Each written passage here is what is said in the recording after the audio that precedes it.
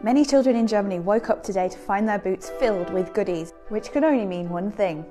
It's Nikolaustag. Saint Nick is said to have been the bishop of Myra in modern day Turkey around the 4th century AD. He was known for performing miracles and giving gifts, especially to those in need. He's widely considered to be the precursor to the man in the red suit, who you might know as Father Christmas, Santa Claus, or Saint Nick. These days, Nikolaus brings treats to good children the night before his special day. December 6th. But what about the naughty kids, I hear you ask? Well, in some parts of Germany, they get a visit off this guy. oh, him. Be honest, what did you find in your boots this morning?